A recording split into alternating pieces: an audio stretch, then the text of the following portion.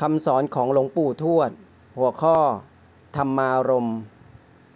การอยู่อย่างมีธรรมารมคือ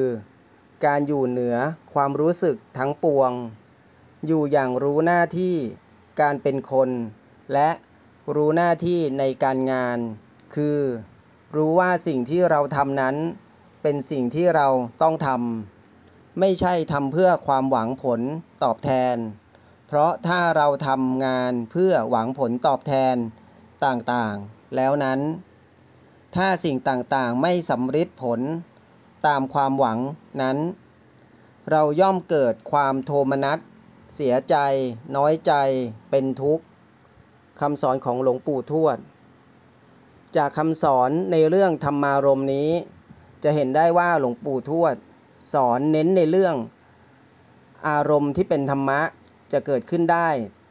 ต้องอยู่เหนือความรู้สึก ก็คือเป็นไปตามเหตุผลเป็นไปตามเหตุเป็นไปตามปัจจัย และที่สำคัญคือคนเราจะต้องทำหน้าที่